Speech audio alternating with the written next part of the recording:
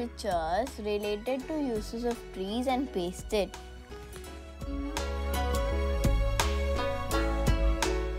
Draw a tree and paste the real sticks.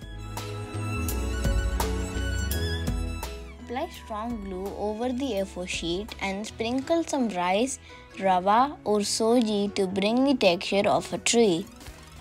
Then paint the tree with yellow base, fluorescent green.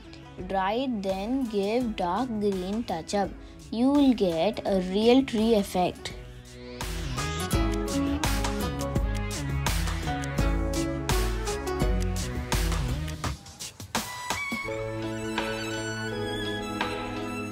Put some aluminium foil to make some pebbles or rocks and paint it.